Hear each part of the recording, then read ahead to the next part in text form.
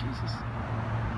This is a 2017 Porsche Cayenne S with a remote start integrated into the factory remote, tagged along with a smart start system.